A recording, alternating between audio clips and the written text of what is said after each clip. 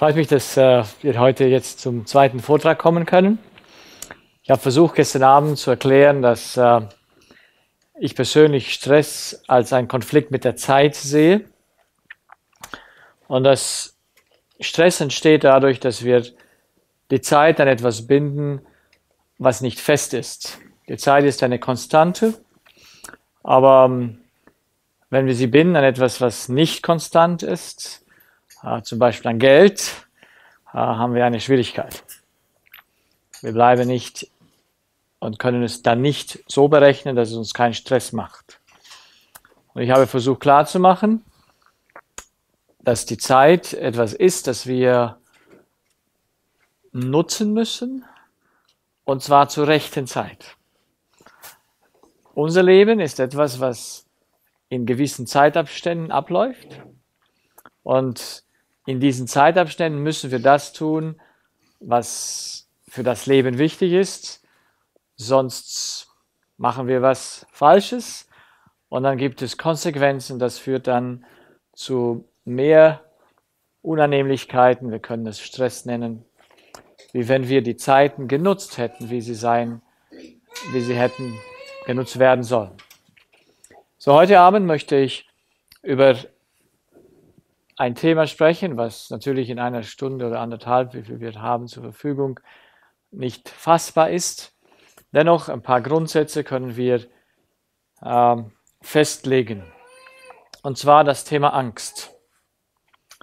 Warum bekommt ein Mensch Angst? Brauchen wir sie, brauchen wir sie nicht? Ich persönlich kann ein Lied davon singen. Ich äh, bin von Kind auf ängstlich gewesen. Man könnte sagen, ich bin ein Hypochonder. Das ist einer, der schon in der Kindheit mit Angst zu tun hatte. Ich musste jeden Abend, bevor ich ins Bett ging, ja, natürlich als Christ immer am Bettrand gebetet, aber nach dem Gebet, bevor ich ins Bett ging, musste ich unter das Bett schauen, ob niemand dort ist. Zu unserer Zeit gab es die Betten, wo unter dem Bett noch Stauraum war. Ja, wo es nicht zu war wie heute.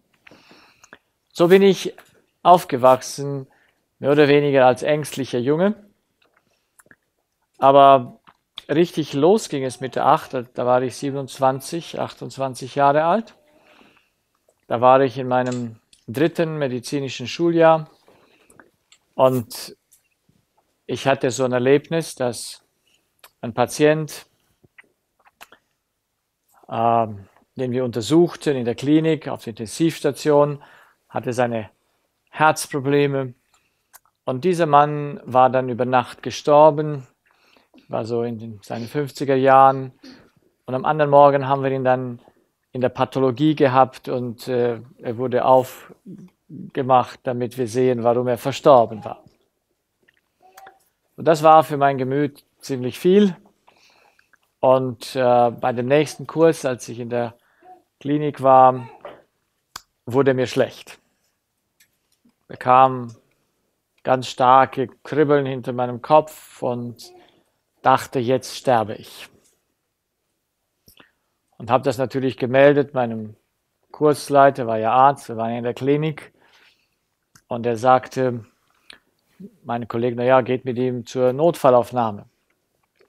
Und so brachten sie mich runter in die Notfallaufnahme von der Station und dort wird man ja dann so auf ein, eine Liege gelegt, nicht? Man ist ja todkrank. Und ähm, es war nicht viel los, aber in, hinter dem anderen Vorhang war eine ältere Dame, habe ich gesehen, und dieser, dieser Notarzt dort, der dort beschäftigt war, der kümmerte sich um, zuerst um die alte Dame und nicht um mich. Und ich dachte, die hat doch ihr Leben gelebt. Ich bin hier am Sterben. Und er rettet mich nicht. Ich war überzeugt, ich sterbe. Nichts mehr hatte Wert. Wisst ihr, wenn ihr überzeugt seid, ihr sterbt, nicht, mehr, nicht, nicht mal der Ausweis, nichts mehr hat Wert. Das ist phänomenal, dieser, dieses das Erlebnis. Und dann untersucht er mich natürlich, setzt mir eine Infusion an, macht mir ein EKG. Und was kommt heraus? Alle Befunde sind letztendlich ohne Befund. Und der Doktor sagt mir, geh nach Hause. Natürlich gehe ich nach Hause, aber ich bin nicht so, so überzeugt, dass ich nichts habe. Und nach ein paar Tagen, ich bin mit dem Fahrrad unterwegs, plötzlich kommt die Panik und ich denke, jetzt sterbe ich. Mein Herz bleibt stehen, kriege Schwindel. Und so laufe ich, ich kann mich noch erinnern, ich parke mein Fahrrad so vor der Notfallaufnahme und, und renne rein. Und interessanterweise, es war derselbe Arzt. Und ich weiß nicht, hat der Pause oder was auch immer, stand vor der Tür. Und ich sage ihm, ja, Herr Doktor, ich bin so, mir ist so schwindelig. Und sieht er mich an und sagt, hau ab, du hast nichts.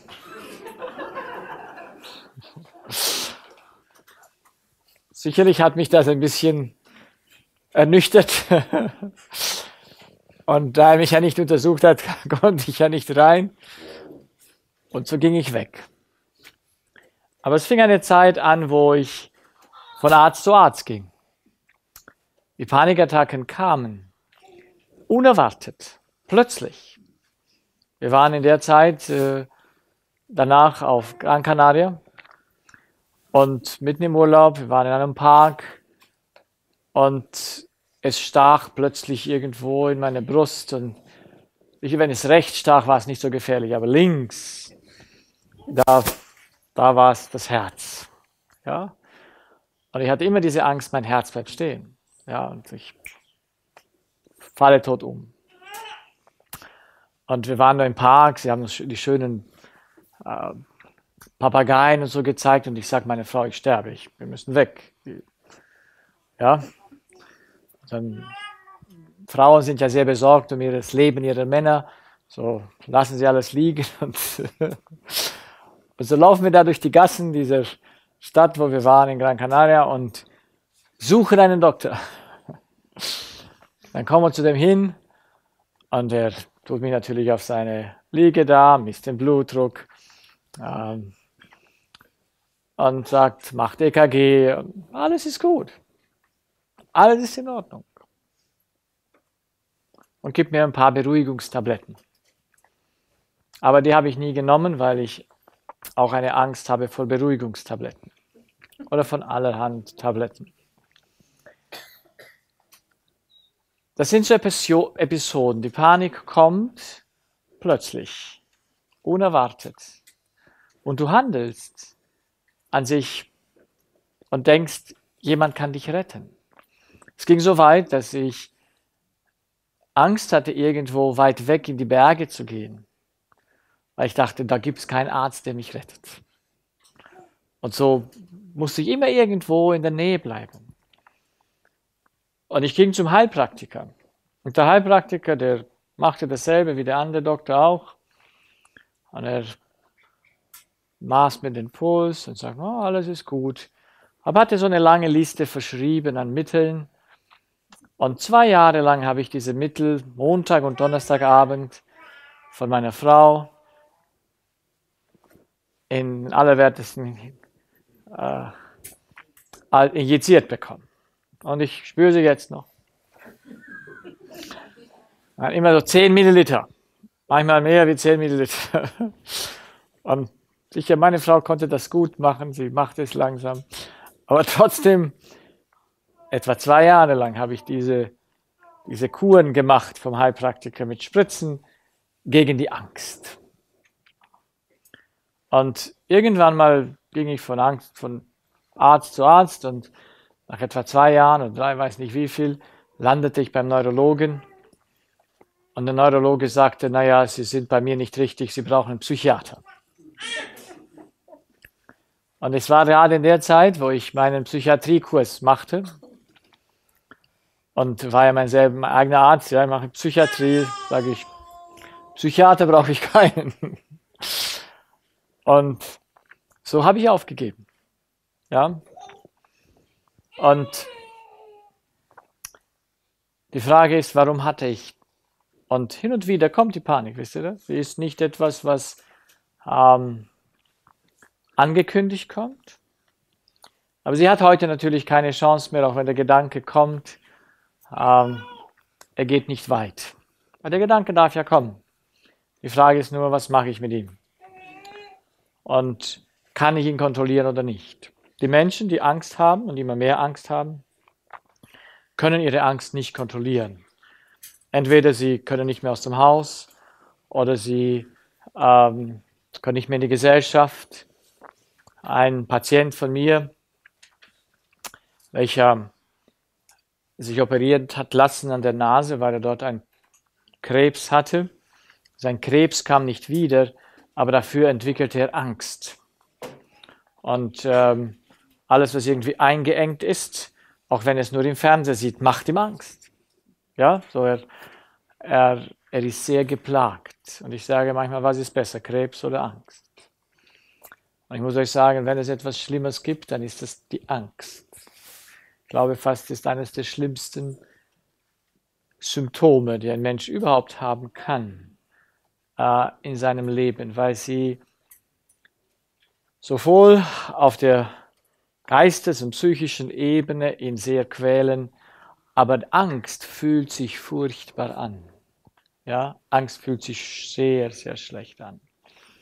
So, wie ich gestern Abend schon sagte, Angst ist ein, ein Symptom, ist eine Krankheit, die immer mehr zunimmt. Aber warum entsteht sie? Woher kommt sie? Können wir sie bewältigen oder nicht? Weil ich denke, es ist wichtig, dass man sie bewältigt. Weil kann ich es nicht bewältigen, dann äh, wird sie mich bewältigen. Das heißt, äh, sie, sie wird mein Leben zerstören.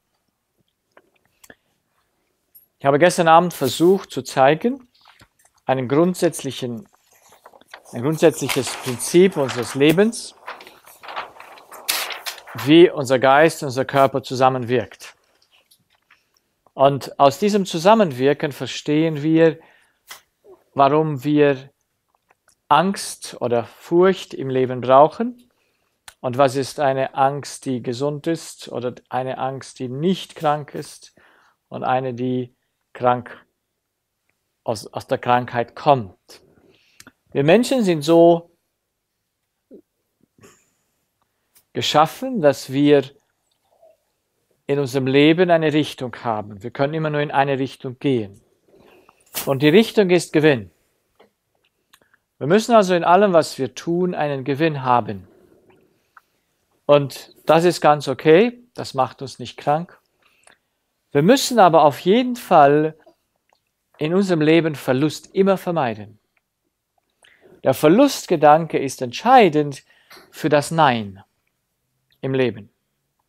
Wir werden nie zu einem Gewinn Nein sagen können und wir werden nie zu einem Verlust Ja sagen können. Das ist nicht möglich für den Menschen, weil er nicht anders kann. Er hat keine Wahl. Er muss für jedes Ereignis, das er als Gewinn berechnet, Ja sagen und er muss für jedes Ereignis, das er als Verlust sieht, ein Nein haben. So, wir brauchen eine Richtung. Wäre das nicht so, hätten wir keine Richtung. Könnten wir in Richtung Verlust frei gehen, dann gäbe es wirklich keine Richtung. Stellt euch vor, wir könnten Verlust uns selber machen dann könnten wir bei Rot über die Ampel fahren. Wir würden uns nicht fürchten, weder wegen dem Unfall noch wegen dem Blitzer, der uns das dann eine Rechnung und ein Fahrverbot bringt. Und Rechnung ist Verlust, oder? So, das wollen wir auf jeden Fall vermeiden. So, stellt euch vor, der Chirurg hat keine Angst beim Operieren. Das heißt, er er operiert und sagt, na ja, wenn ich jetzt auch die, ähm, den, den Nerv noch mitnehme oder die Halsschlagader mit raus, äh, es macht ja nichts. Äh, es ist ja nicht Verlust. Ja? Wäre das, wäre das gut? Sicherlich, es gäbe keine Richtung. Würde der Mensch nicht den Verlustgedanken haben, um ihn zu vermeiden, hätte er keine Not und Hemmungen. Er würde aus dem fünften Stock runterspringen, so wie wenn er spazieren ging auf der Straße, weil er würde sagen, es macht nichts aus. Das ist nicht ausdenkbar, oder? Es geht nicht. Auch die, die runterspringen von den Häusern, tun es nicht, weil sie sich Verlust machen wollen, sondern weil sie Gewinn machen wollen. Sie wollen nämlich von einer Not wegkommen. So, ein Mensch kann nicht sich Verlust selber machen. Es sei denn, man verkauft ihm den Verlust als Gewinn. Ja, so ist die einzige Möglichkeit, dass er betrogen wird. Aber er hat ein Nein für den Verlust. Deshalb können wir Chirurgen vertrauen. Sie verletzen uns nicht, also sie versuchen ihr Bestes zu tun, nicht unbedingt um unser Leben zu schonen, sondern ihr eigenes. Weil wenn sie dann einen Fehler machen, der Fehler nimmt ihnen die Betriebserlaubnis und dann haben sie keinen Job. So, das ist so wie beim Fahrer, der, der Angst hat, ja, wieso kann man die Lkw-Fahrer alle stoppen, dass sie nicht zu schnell fahren? Weil es gibt ja dicke Strafen dafür und Fahrverbot und Geldverlust und das wollen sie alle nicht erleben. So, der Mensch braucht den Verlustgedanken, er muss zum Verlust Nein sagen können. Deshalb gibt es also zwei Möglichkeiten, die wir haben, um, um Angst oder Furcht, vielleicht nennen wir sie so einfach technisch halber. Furcht ist per Definition eine kalkulierbare Größe. Ja, das heißt, ich kann den Schnitt vermeiden, wenn ich vorsichtig bin. Ich kann auf die Bremse drücken, bevor es rot wird an der Ampel. Ich weiß, wenn ich aus dem zweiten Stock aus dem Fenster springe, gibt es eine Konsequenz. Es ist eine berechnende Situation.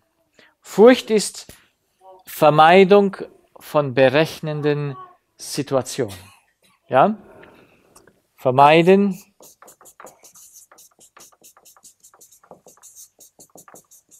Das heißt, ich kann Nein sagen von Situationen,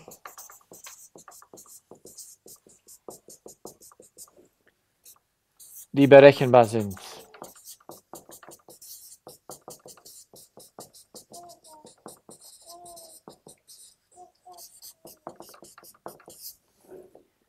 Dagegen würde ich die Angst nehmen und die Panik. Sie sagt, was ist das für ein, wie würden wir es definieren? Also ist, ich kann die Situation nicht vermeiden, ja, weil ich sie nicht berechnen kann. Also eine nicht berechenbare Situation. Aber ich muss sie ja vermeiden, oder? Weil wir so gemacht sind, wir müssen es vermeiden, aber ich kann es nicht berechnen.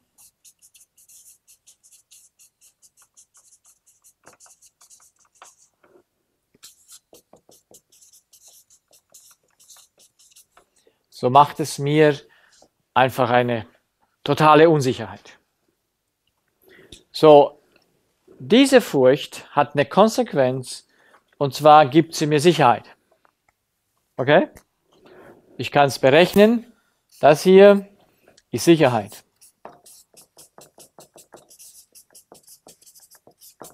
Und Sicherheit schadet uns nicht. Ja? Aber Unsicherheit ist doch etwas, was uns schadet, oder?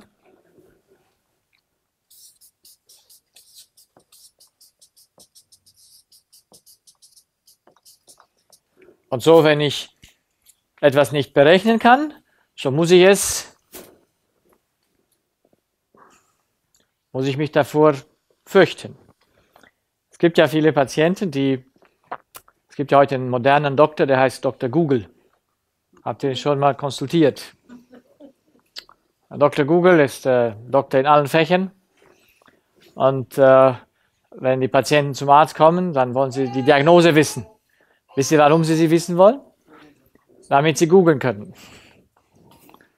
Und was macht Dr. Google? Macht er Freude oder Angst?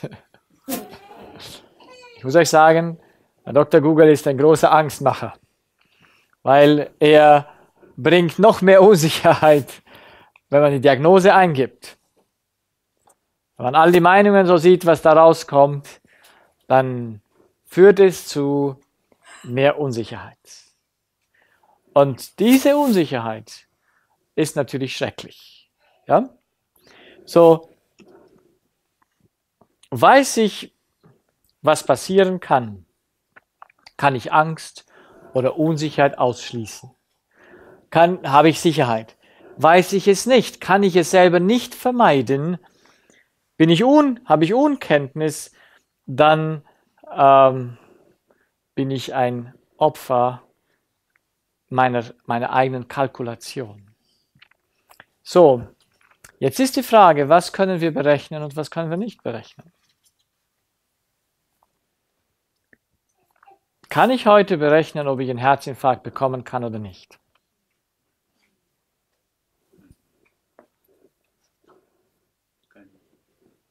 Wieso nicht?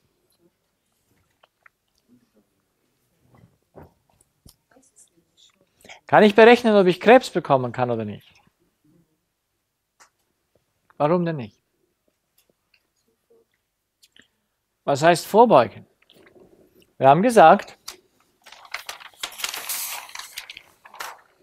Wir haben ein Nein für,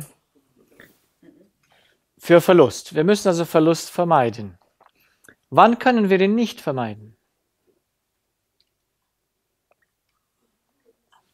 Wenn er nicht in meiner Macht steht. Okay? Ich kann nicht vermeiden, dass hier jemand reinkommt und äh, mir eine Ohrfeige gibt oder was auch immer, ja?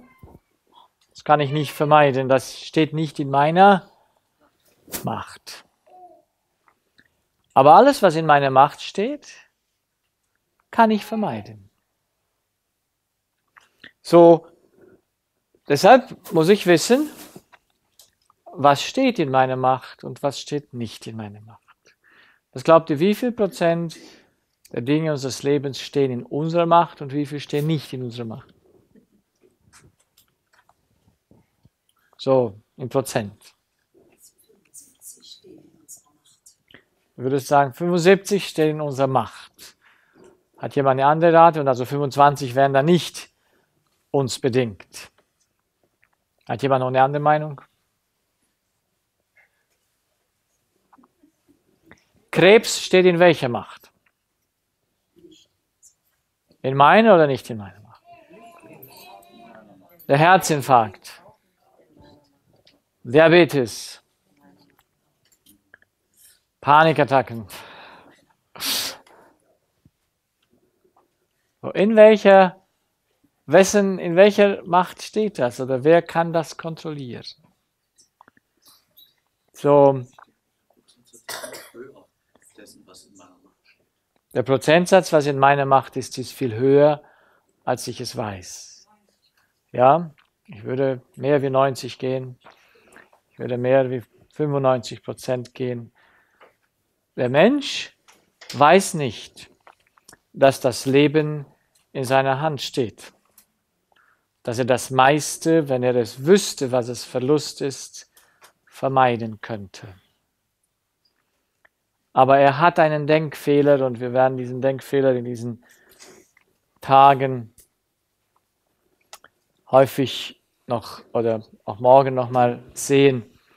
Der Mensch denkt, er besitzt etwas. Na? Wir haben ja gestern gesagt, der Mensch, der mit der Zeit ein Problem hat, denkt, die Zeit ist sein. Oder? Aber gehört die Zeit jemandem? Ich denke, es ist ein Irrtum des Denkens, dass der Mensch sagen kann, die Zeit ist mein. Ja?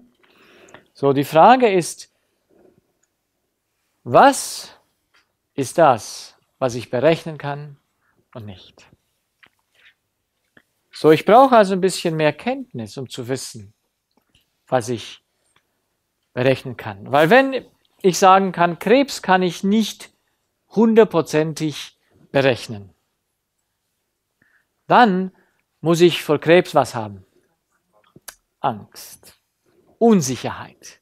Ah, irgendwo wächst ein, ein Knötchen und ich muss rennen und ich muss es rausschneiden lassen, zu sehen, ob es Krebs ist oder nicht. Wann habe ich Angst vor dem Krebs? Wann habe ich Angst vor irgendwelchen Krankheiten? Wenn ich nicht weiß, wie sie entstehen, oder? Und das versuche ich halt klar zu machen, von dem, was ich in den letzten neun Jahren gelernt habe in meiner Praxis, dass diese Krankheiten vermeidbar sind, weil sie haben eine genaueste Ursache, die vermeidbar ist. Die muss nicht sein, wenn der Mensch es versteht. Und, und das ist das Traurige an der ganzen Geschichte in der Medizin, dass wir denken, es ist nicht vermeidbar. Und macht, gibt es Leute, die haben Krebsangst? Oh ja, es muss nun mal eine Sendung im Fernsehen sein voll Kehlkopfkrebs. Und dann am anderen Tag kommen die Leute, hm, Herr Doktor, es ist irgendwas im Hals. Und diese, diese Tage hatte ich eine Patientin, die war vor vier Jahren, 2008, ja, fast fünf, bei mir. Und sie kam mit diesem, diesem Kloß im Hals. Wisst ihr, der Kloß ist immer Angst. Jeder, der mit einem Kloß kommt, sei denn, er hat irgendwie sich verbrüht oder sowas. Er sagt, hm, es tut nicht weh, aber es ist so, wie wenn man etwas dort hat und es geht nicht runter. Ja, und so verschleimt im Halsrachen. Und manchmal muss man räuspern. Es ist nicht anders als eine, eine Angst, die sich körperlich manifestiert. Es ist eine leichte Unsicherheit, die der Mensch hat aufgrund einer Situation. Diese Patientin, die gestern, vorgestern bei mir war, sagte, ja, damals haben sie mich ja, sagt sie, ich dachte, sie sind Hellseher. Ja, ich versuche das zu vermeiden, dass jemand denkt, ich bin Hellseher. Weil das nimmt mir einen Haufen Autorität weg. Ähm, ich kann nur die, das Symptom bewerten. Ich weiß, woher das kommt. Ich weiß, warum es kommt. Sie kam mit diesem Kloß und ich sagte, ja, Sie müssen Angst haben. Vor was haben Sie Angst? Und sie sagte, na ja, seit sechs Wochen, seit sechs Monaten ist meine Mutter an Krebs erkrankt. Ja? So, da war die Sorge um die Mutter. Kann ich über das Leben der Mutter bestimmen? Ja oder nein? Nein. Wenn ich will, wohin führt es mich? Zur Sicherheit oder zur Unsicherheit? Unsicherheit. Das heißt, ich will dann unbedingt das Leben eines anderen kontrollieren und ich passiert was mit meinem Leben? Mein Leben kommt in Not. Und sie sagte, der Kloß ging dann schnell weg, nachdem sie wusste, um was es geht, weil sie konnte es ja dann einordnen. Und deshalb die Frage ist die, haben wir, wie viel können wir vermeiden und wie viel können wir nicht vermeiden? Ich hatte diese Tage auch so einen interessanten Fall einer jungen Frau, knapp über 40, mit Brustkrebs auf der rechten Seite seit 2011. Sie sagt, sie hat den schlimmsten der Brustkrebse, ist operiert worden, bestrahlt, Chemotherapie. Und sie ist eine junge Frau. Und sie kam, weil sie seit zehn Tagen einen Ton auf ihrem linken Ohr bekommen hatte. Das ist ein Tinnitus. Und sie wollte ihr Hören prüfen. So, passt das zusammen? Der Tinnitus links, der Brustkrebs rechts. Passt wunderbar zusammen. Ist dieselbe Hirnhälfte, aus derselben, kommt aus derselben nervösen Steuerung. Und Die Frage ist, gibt es einen klaren Grund? Und kann dieser Grund wieder behoben werden? Kann diese Frau frei sein von der Ursache ihres Krebses oder nicht? Oder muss sie jetzt bangen und in Angst leben? Hoffend, vielleicht oder vielleicht nicht. Und hier denke ich, ist es so wichtig, dass wir Gesetzmäßigkeiten haben, auf die wir uns verlassen können. Weil Gesetzmäßigkeiten geben was? Sicherheit. Sicherheit macht mich, dass ich weiß, was ich tun muss, um etwas zu vermeiden. Ich vermeide es, dann habe ich keine Folge, die ich da nicht kontrollieren kann, weil den, den Krebs selbst ist eine Folge, die man nicht kontrollieren kann. Okay? So wie der Kopfschmerz. In dem Moment, wo er da ist, ist er da. Aber er hat einen Grund, warum er kommt. Kann ich ihn vermeiden? Habe ich keine Angst? Habe ich keine Unsicherheit? Und ich muss euch sagen, in 90 Prozent der Fällen in der Medizin denken wir, wir wissen nicht, warum der Mensch krank wird. Und, und in den anderen Fällen, denke ich, wissen wir es nicht richtig. Aber wir, wir setzen so viel Unsicherheit in den Patienten, dass ich manchmal denke, der Arzt ist ein Angstmacher. Ja, vielleicht nicht ein bisschen zu stark betont, aber äh, nicht wenige Ärzte äh, sagen, naja, wenn wir das nicht machen und das nicht machen oder nicht, und der Mensch wird dann ähm, sehr unsicher. Ich habe eine gute Bekannte, die ein bisschen älter ist und sie hat zweimal Synkopen gehabt. Es ist plötzlich umgefallen. Und jetzt haben sie so einen Monitor ins Herz also an, in in die, unter die Haut gebaut, also nicht Monitor, sondern so ein, ein Chip, kein Schrittmacher. Er soll nur aufnehmen und messen, so ein Dauer-EKG, dass man sieht, naja, wenn sie irgendwas hat, dass, dass man sieht, was ist los. Aber was, was hat man, wenn man weiß, was los ist? Bitte? Wieder Angst. Man hat auch nichts. Weil ich kann ja das nicht vermeiden mit dem Ding da hinten. Ja, so, ich habe eine Patientin, die kam mit ihrem kleinen Kind und weil sie irgendwelche Bronchitiden hat, also Bronchitis-Erkrankungen, haben sie so einen Monitor angetan, den sie ein halbes Jahr tragen soll, damit sie nicht irgendwie beim Schlafen ähm, in Luftnot kommt. Bringt das Angst, der, Monitor, der das Gerät, das man einfach beobachten soll. Das ist alles sehr unnatürlich und führt nicht zu einer Sicherheit der Mutter, die ja sehr wichtig wäre für die Entwicklung des Kindes. Sicher ist es ein großes, großes, eine große Bedürfnis des Menschen. Nimmt man sie ihm, kommt man in die Angst. So, es ist entscheidend, dass wir ein wenig kennen, was kommt woher. So, das, was mir geholfen hat, zu verstehen, woher der Krebs kommt, und ich konnte bei dieser Patientin, die jetzt bei mir war, ähm, deutlichst wissen, warum sie sowohl ihren Krebs hatte und ihren Tinnitus weil es eine Gesetzmäßigkeit dahinter steckt. Und ich habe sie eingeladen, dass sie kommt zur Beratung, dass ich mit ihr spreche. Aber sie selbst hat mir schon sehr viel verraten über ihre Lebensgeschichte. Und ihre Lebensgeschichte passt genauestens. Ich hätte sie vom Brustkrebs ablesen können, woher das kommt.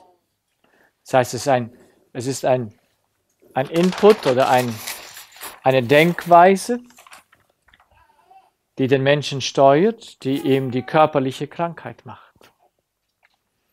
Und was ich festgestellt habe, was wir heute wissen, die Panikattacke, die Angst ist auch eine körperliche Krankheit. Aber wie entsteht sie? Und da möchte ich ein bisschen in die Anatomie und Physiologie gehen, ja, in unser Gehirn, weil wenn wir das verstehen, dann können wir es besser einordnen. Es müssen auch ein bisschen Material durchgehen, nicht nur Philosophie machen. So, wir haben also in unserem Gehirn im Wesentlichen zwei Teile, die wir verstehen müssen. Und unser Gehirn ist so aufgebaut, dass es eine Hirnrinde hat. Das ist die Hirnrinde.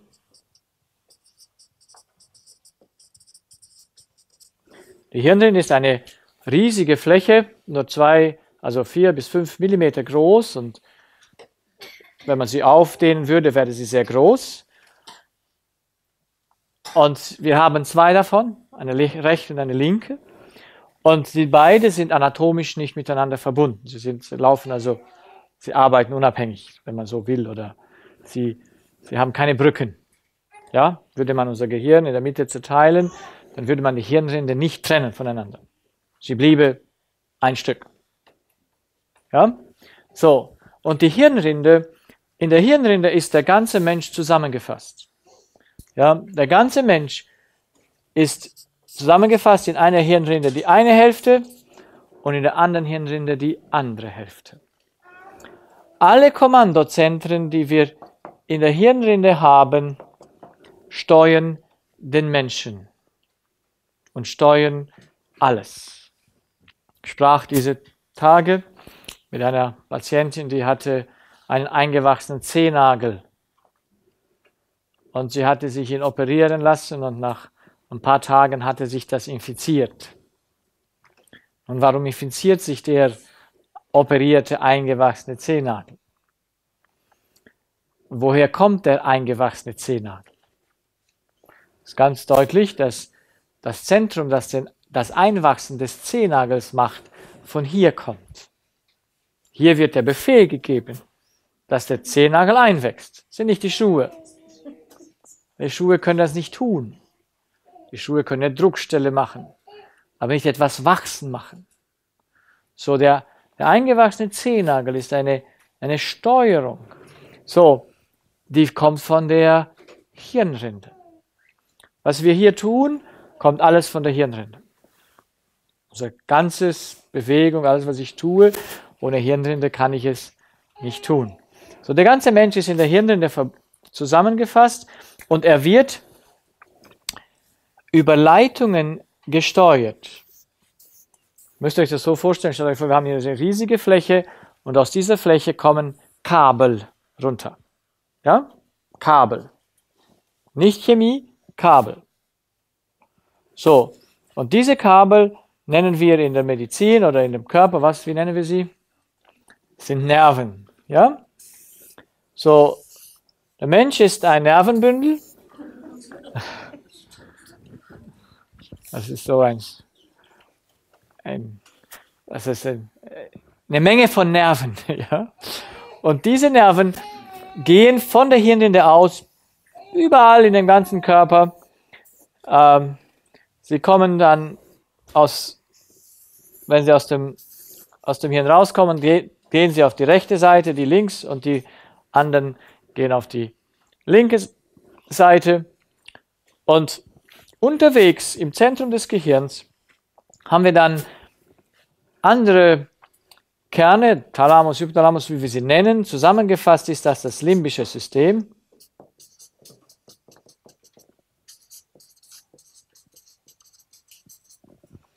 Und das limbische System ist dort, wo unsere Hormone gebildet werden. Ja? So hier ist Hormone,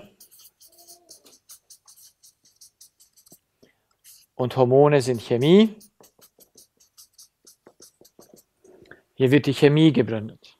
Mit was funktionieren die Nerven? Welches ist die Energie, mit der der Nerv funktioniert? Es ist Elektrizität, das heißt, wir sind elektrische Wesen, ja, hier ist Elektrizität.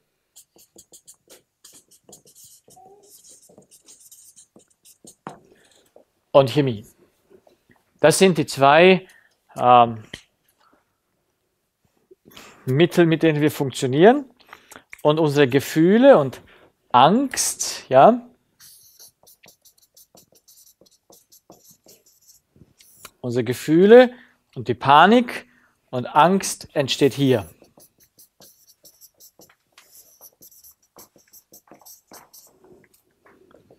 Und wir können aber hier unten nichts spüren, nichts wissen, weil nur in der Hirnrinde haben wir eine Wahrnehmung.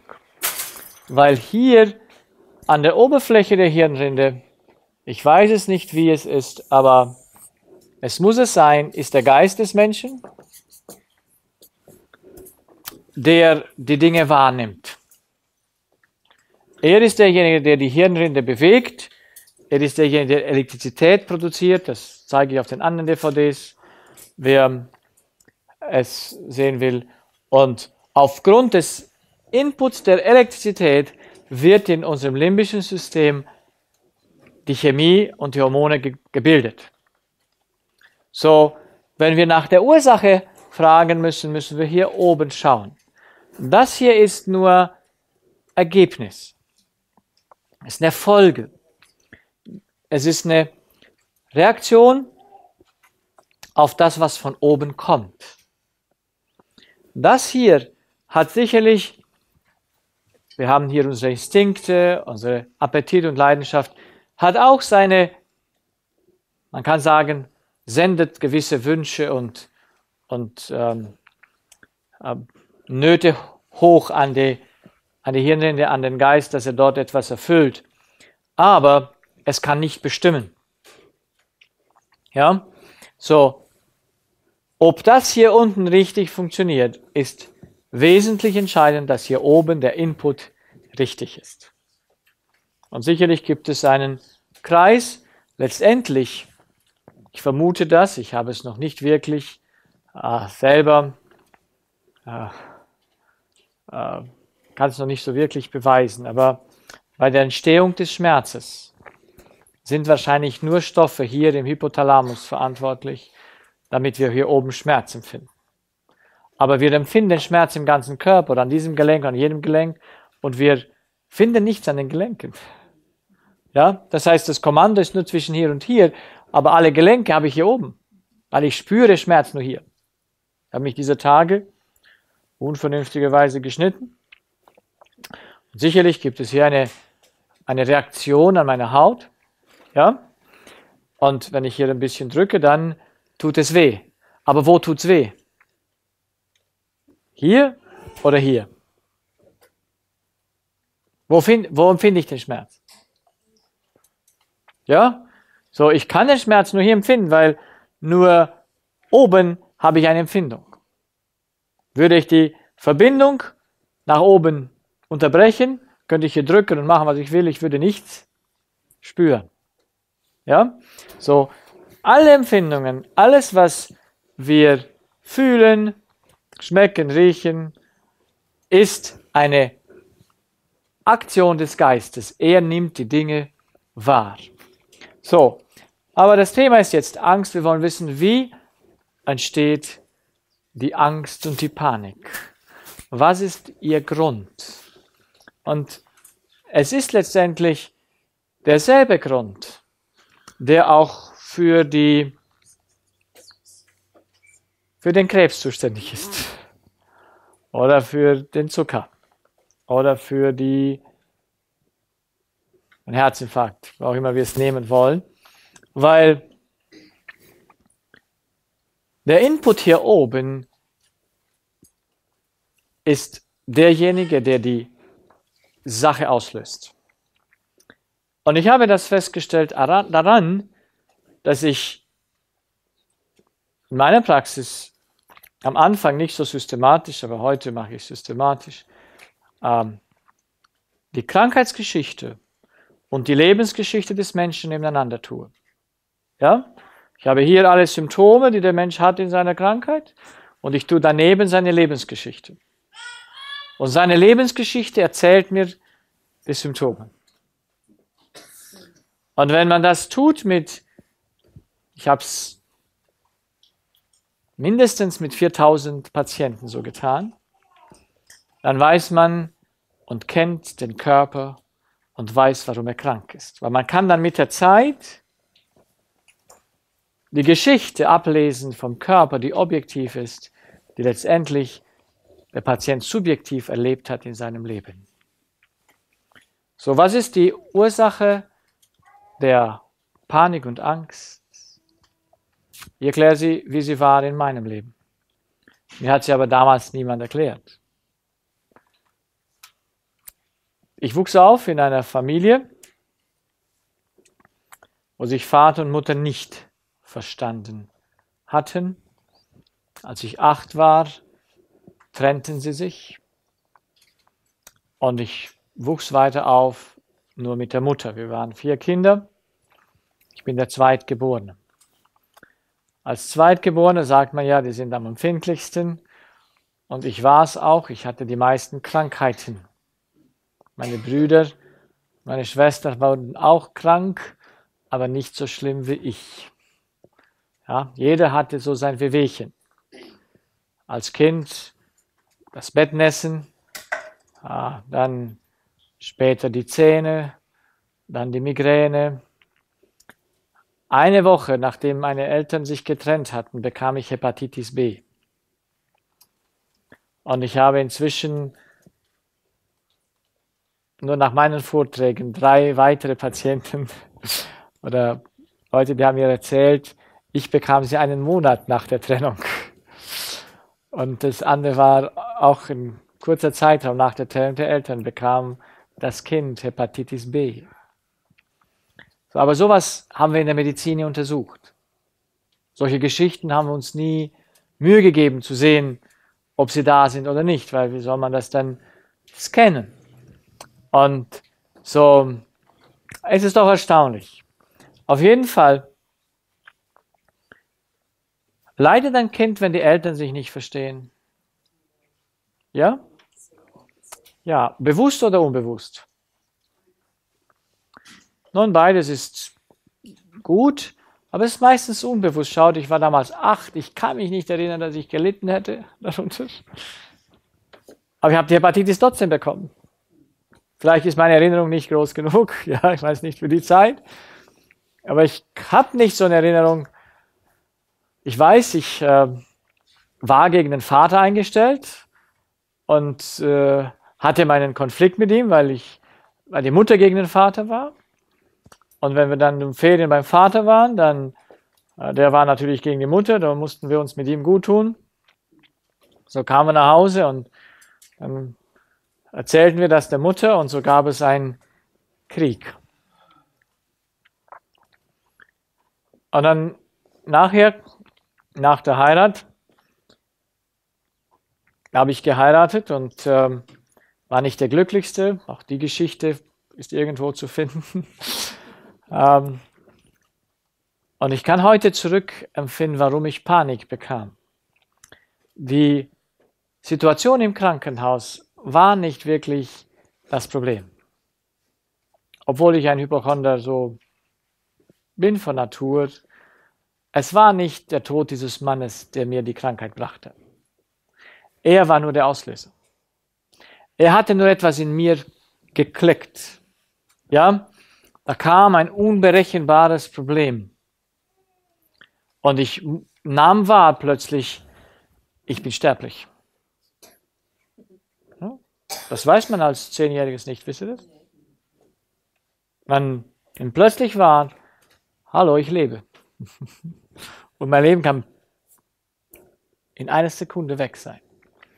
Und dann bekommt man wenn man nicht die Dinge einordnen kann, einschätzen kann, Angst. So, ich bekam aber die Angst und konnte und hatte nicht das ausgeglichene Fähigkeit, über diesen Dingen zu tun, weil ich eine Beziehungsstörung hatte. Die eine war, dass meine Mama ihre Not hatte und ich weiß nicht, ob sie nicht in der Zeit gerade anfing mit den Depressionen. Das, äh, und ich war unglücklich in meiner Ehe. Und in allen meinen Patientenbefragungen, bei denen die Angst hatten, kam ich immer auf den gemeinsamen Nenner. Es gibt ein Beziehungsproblem. Es gibt einen Konflikt mit jemandem. Es gibt eine Unzufriedenheit. Und die Unzufriedenheit kommt, weil der Mensch sagt, jemand macht mir Verlust. Jemand macht mir Verlust. Und diese, diese Beziehungsproblematik führt zu einer, einer Denkweise des persönlichen Verlustes. Und der persönliche Verlust macht im limbischen System nicht die Produktion eines ähm, Hormons, das uns glücklich macht, das heißt, das uns wohlfühlen tut. Und dadurch kommen wir in den Mangel. Vielleicht noch einmal das zu erklären, wenn, dass ihr seht, wie das passt. Wenn ich hier oben in meinem Geist denke, ich habe einen Gewinn, was für Hormone werden produziert?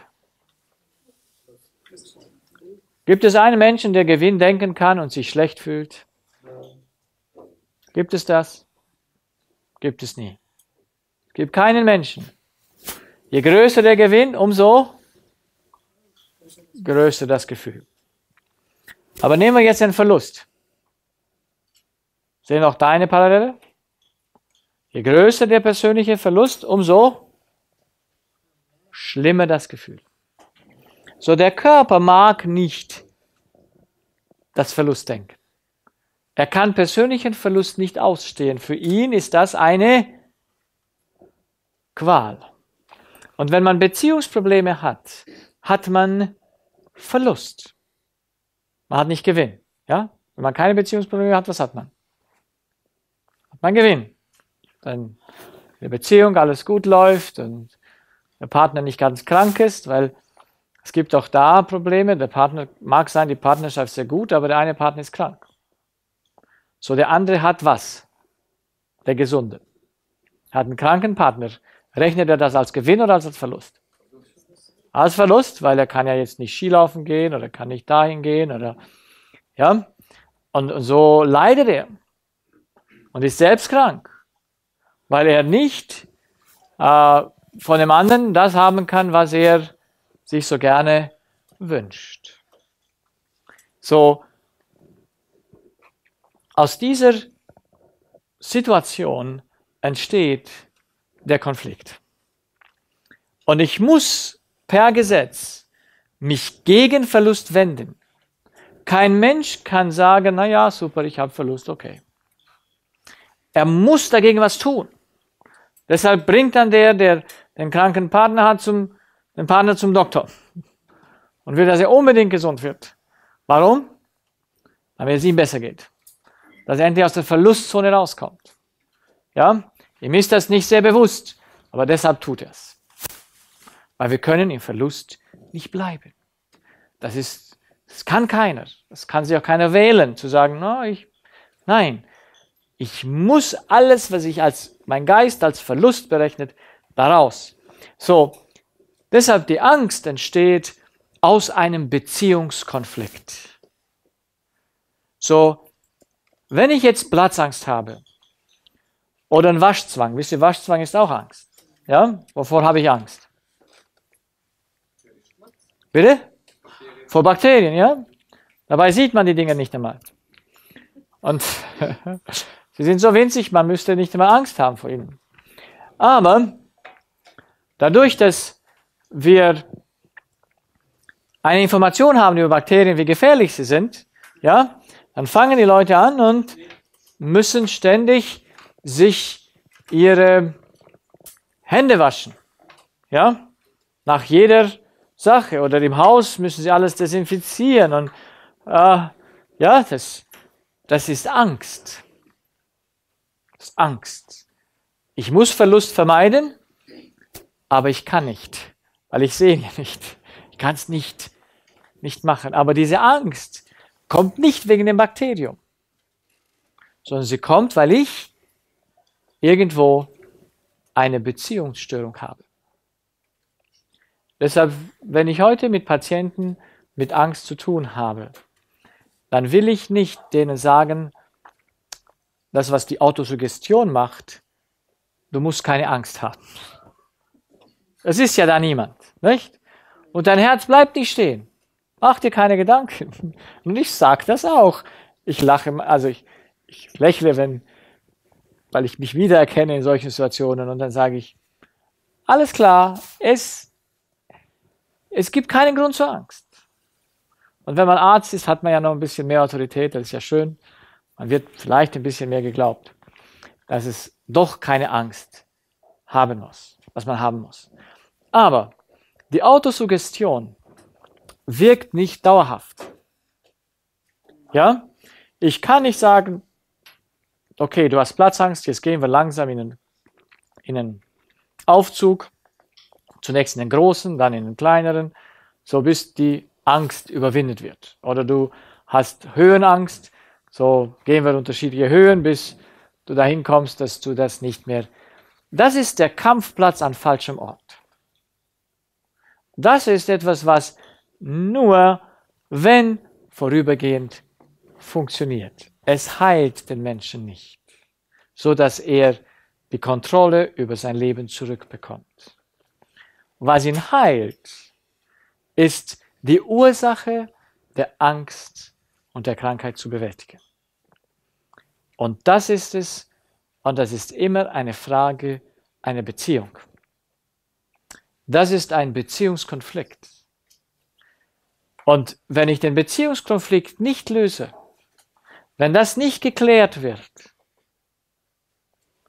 dann kann ich machen, was ich will. Es gibt nur ein ein Zyklus. Das heißt, die meisten Krankheiten verlaufen in ähm, Phasen oder in Schüben. Ja? Sie sind nicht immer gleich da. So, ich habe jetzt eine Rheumattacke, ein Mensch kann nicht mehr laufen gehen.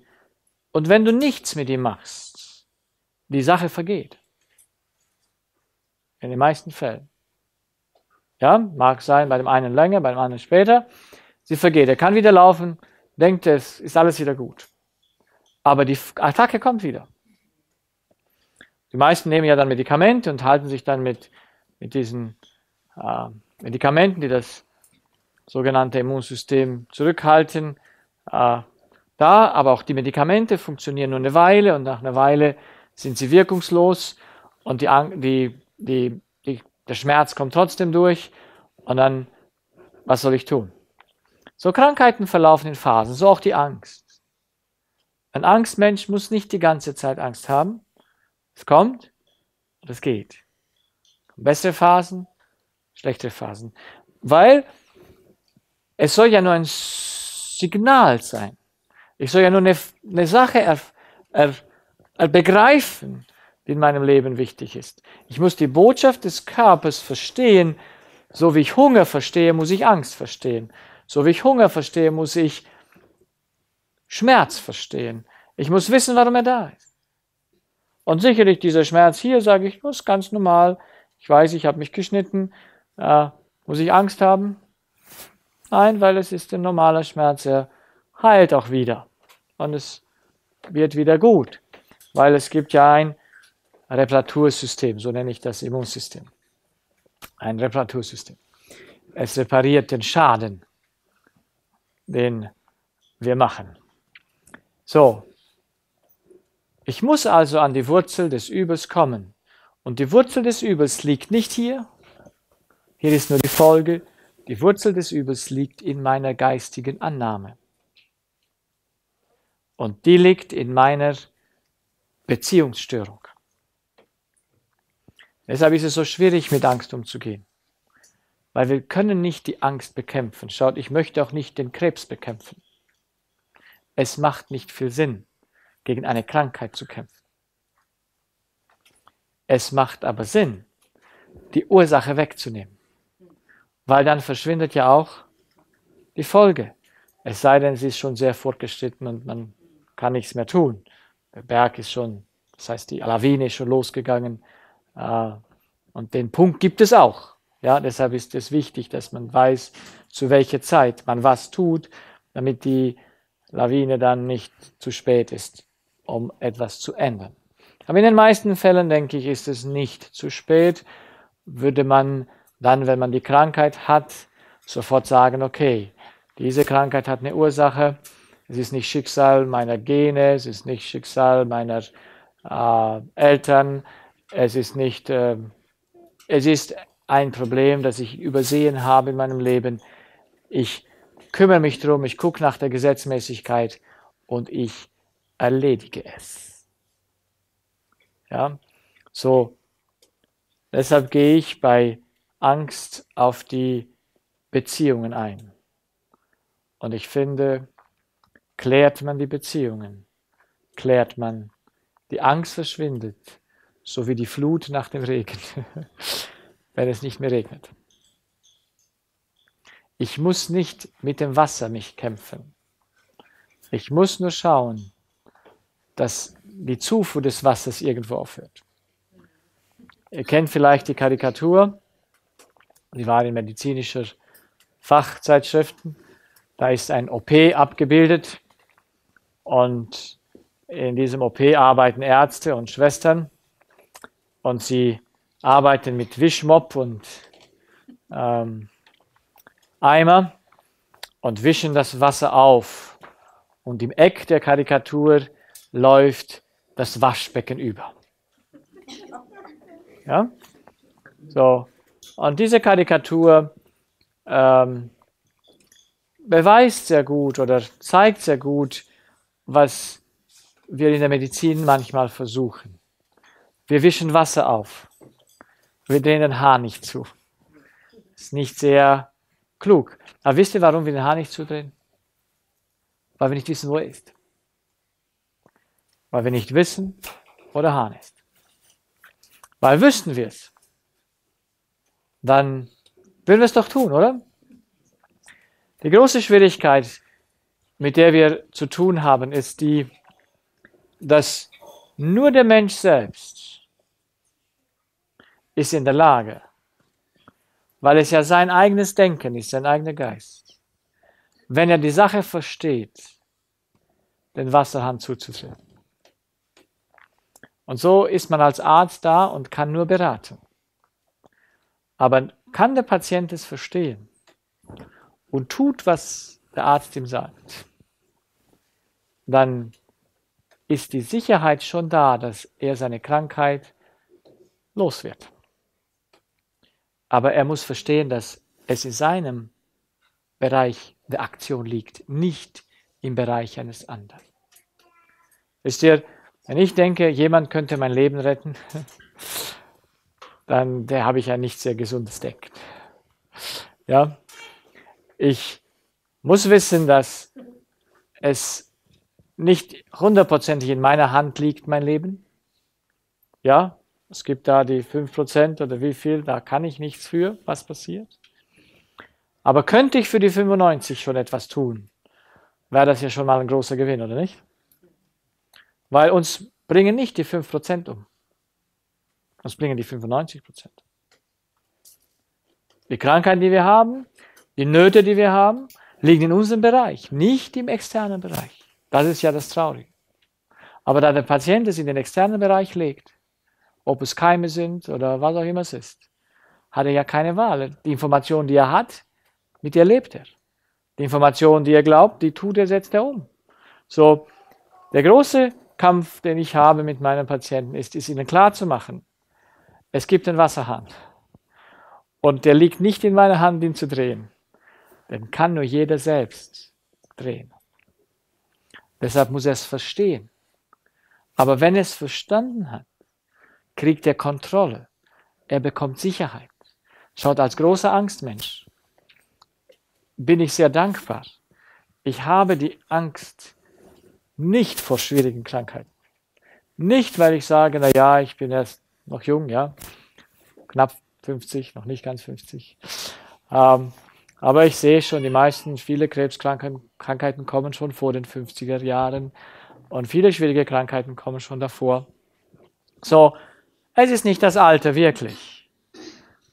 Sicherlich liegt da auch noch das da, dass jemand großes Interesse hat an unserem Leben und äh, in manchen Fällen uns hilft, dass trotz unserer Fehler wir nicht sehr große Konsequenzen haben. Ich meine, dass äh, damit Gott in unserem Leben, das können wir nicht so ganz berechnen. Aber was wir berechnen können, ist, ich habe keine Angst, Herzinfarkt zu bekommen oder Zucker oder irgendeine Krebsart, weil ich weiß, wo sie kommt her. Deshalb kann ich es vermeiden. Ich kann Nein sagen. Damit habe ich Sicherheit. Ich kann vor einer Bestrahlung mich nicht schützen, ja, dass ich irgendwo bestrahlt werde. Ähm, ich kann nicht vor einem Unfall mich schützen, unbedingt. Aber ich kann von dem, was in meiner Macht steht, hier oben in meinem Geiste, kann ich mich vor den meisten peinigenden Krankheiten schützen und vermeiden, weil ich weiß, wo der Schlüssel liegt. Und der Schlüssel liegt darin, dass ich die Kontrolle über mein Leben habe. Aber schaut, die Kontrolle, die der Mensch so gern haben will über sein Leben, hat er nicht, weil er meint, Verlust ist nicht bekommen. Wieso entstehen Beziehungsprobleme? Sie entstehen, weil ich etwas nicht bekomme, weil ich einen Verlust habe. Und damit gebe ich einen Input in meinen Körper durch mein Denken, einen elektrischen Impuls.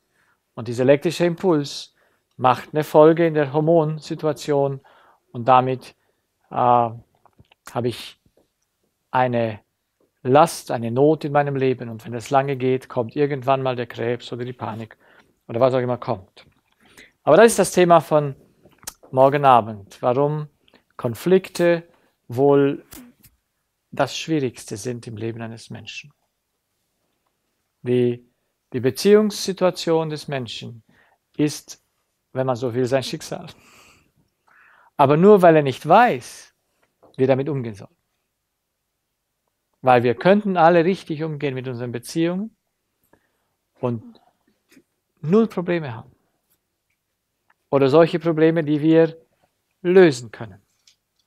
Aber sind es natürlich Dinge, die wir denken, wir können sie nicht lösen, dann ist es natürlich ein großes Problem. Ich ähm, beginge die Meinung der Patienten, die kommen und sagen, na ja, Herr Doktor, wir haben ja jetzt die Vergangenheit, die kann ich ja nicht verändern. Stimmt's? Wir können in der Zeit nicht zurückgehen. Äh, die Menschen gehen dann und sagen, es, ich muss dich in der Vergangenheit, ich muss dich in die Vergangenheit bringen und wir müssen dort dieses Problem, den Knoten lösen, damit du in der Gegenwart wieder in Ordnung bist. Und das ist völlig unmöglich, weil die Zeit erlaubt es nicht. Wir können in der Zeit nicht zurückgehen. Können Sie? Na, wir können uns erinnern, aber wir können nicht zurückgehen. Aber es gibt diese Rückführungen auf verschiedene mystische Weise. Hypnose ist eines der Dinge. Und die Leute setzen sich der Sache aus, weil sie denken, sie müssten das Problem in der Vergangenheit lösen. Aber Probleme in der Vergangenheit sind nicht zu lösen. Sie müssen noch nicht gelöst werden. Alles, was ich ändern muss über die Vergangenheit, ist, wie ich sie sehe. Gewinn? Kein Gewinn oder kein Verlust? Null? Oder persönlichen Verlust? Nur meine Sicht bestimmt, was die Vergangenheit mit mir tut. Und das muss ich tun im Bewusstsein, nicht in Hypnose, nicht in irgendwelchen Rückführungen, weil das geht nicht. Schaut, wenn der Mensch in seiner, seinem Beziehungskonflikt die Sicht über den Konflikt nicht ändert, wird der elektrische Input ständig da sein. Und irgendwann mal bringt er dem Körper die Krankheit. Früher bei dem einen und bei dem anderen später. Aber sie wird kommen. Deshalb muss ich dieses System verstehen, wie unser Denken mit unserem Körper zusammenhängt. Und wir müssen den Sinn unserer Beziehungen verstehen. Wisst ihr, wir verstehen unsere Beziehungen falsch. Und weil wir unsere Beziehungen falsch verstehen, kommen wir in Konflikt mit ihnen. Anstelle keinen Konflikt zu haben in der Beziehung. Und weil wir in diesen Beziehungskonflikt kommen, kommen wir in die körperliche Not der Krankheit. Deshalb müssen wir darüber sprechen, warum sind Konflikte? Warum ist Streit das Allerkrankmachendste? Der Konflikt mit der Zeit mag uns ein bisschen Druck bringen. Und vielleicht macht er ein bisschen nervös, weil wir schaffen es nicht zum Flughafen oder wir schaffen es nicht da pünktlich oder wir lagern uns zu viele Dinge auf. Aber das ist nicht wirklich sehr krankmachend. Und er kommt auch letztendlich aus einer Nicht-Kalkulation, die der Geist hat in seinem Leben. Aber die Angst, die Umstände nicht kontrollieren zu können, ja, ist etwas, was wir auch nicht brauchen, weil wir müssen nicht kontrollieren, ob unser Haus abbrennt oder nicht. Weil wir können ja Neues bauen, oder?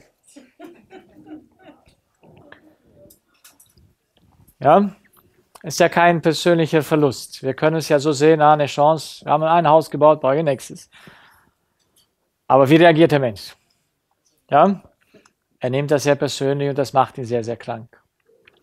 Ich habe solche Patienten, die solche Dinge erlebt haben.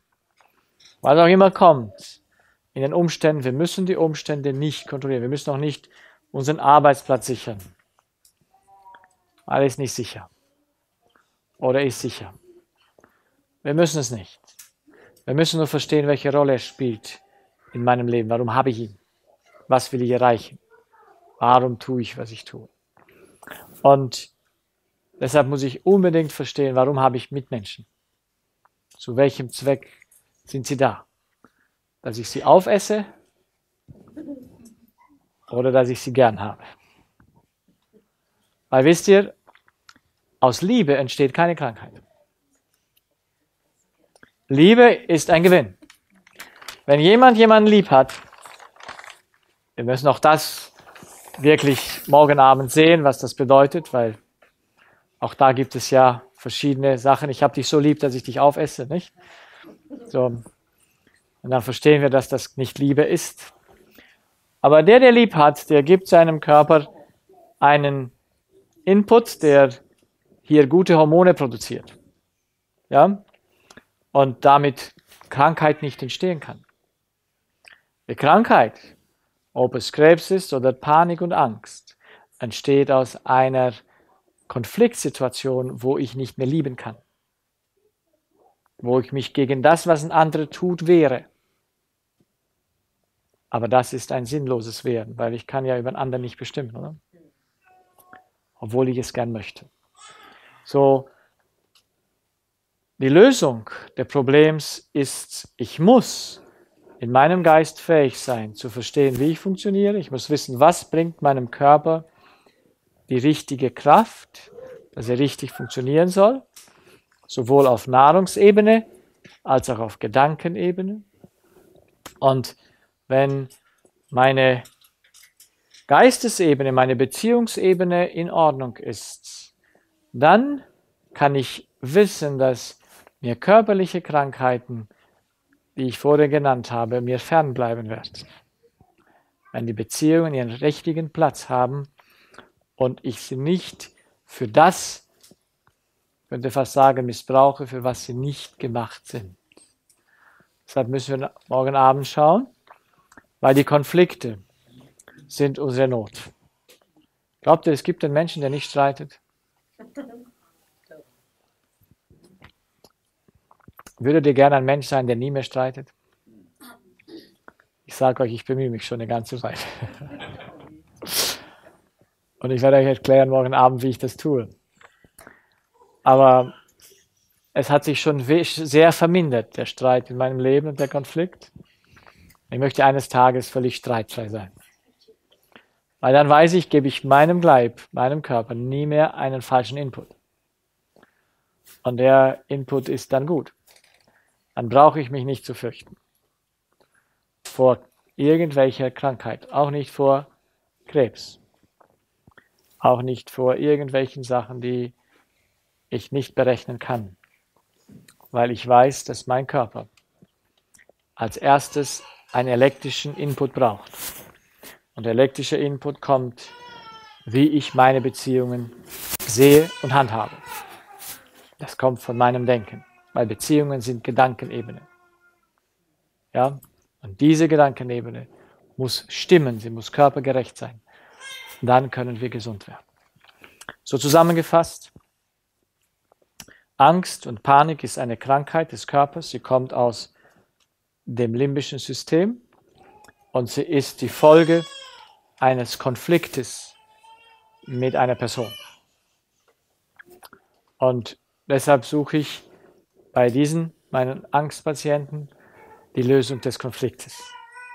Weil dann verschwindet die Angst. Sie ebbt einfach weg. Weil es gibt keinen Input mehr. Hier, damit sie entsteht. Es gibt keinen Mangel. Und äh, so hoffe ich, Sie ein bisschen neugierig gemacht zu haben für morgen Abend.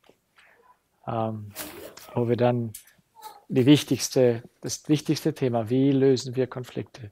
Wie kommen wir dahin, dass wir uns nicht mehr ärgern? Weil Ärger ist ein großes Potenzial. Furchtbare viele Krankheiten stehen dadurch, ähm, die alle vermeidbar wären, hätte ich die Kontrolle über mich selbst. Habe ich sie nicht, bin ich ein Sklave der Umstände, ein Sklave meiner Mitmenschen aber zu meinen eigenen Ungunsten. Und das, denke ich, sollte nicht so sein. Zumindest ich bin auf dem Weg, dass ich es nicht mehr mir selber antue. Weil ich habe genug Schmerzen gehabt, mein Leben, genug Angst und bin dankbar, dass es nicht schlimmer war ähm, bisher. Aber ich denke, Angst ist schon etwas ganz Schlimmes. Also ich würde fast sagen, Krebs ist nicht so schlimm. Aber ich habe Krebs noch nicht gehabt, so kann ich es nicht sagen. Aber Angst ist etwas, etwas ganz Schlimmes. Und von Angst befreit zu sein, ist eine große Sache. Und äh, da bin ich sehr, sehr dankbar. Und man kann befreit bleiben, wenn man weiß, was der Körper braucht und wie man aus den, aus den Konflikten rauskommt. So, ihr seht, alle Dinge spitzen sich auf eine Situation zusammen. Weil was ist im menschlichen Leben das Wichtigste? Wisst ihr, was im menschlichen Leben das Wichtigste ist? Essen und Trinken. Essen und Trinken. Was ist das Wichtigste im menschlichen Leben? Es sind die Beziehungen. Die Beziehungen des Menschen sind das Wichtigste, was er hat im Leben. Es gibt nichts Wichtigeres. Deshalb ist es doch selbstverständlich, dass dort auch der Grund zu finden ist für unsere Gesundheit oder für unsere Krankheit. Deshalb müssen wir wissen, welche Rolle haben unsere Beziehungen, damit wir sie in dem Sinne benutzen, dass wir nicht krank werden.